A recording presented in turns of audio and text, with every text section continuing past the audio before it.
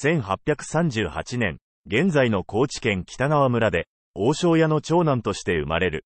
17歳から竹地半平太の道場に入門し、剣術を学ぶ。19歳の時には庄屋の娘と結婚。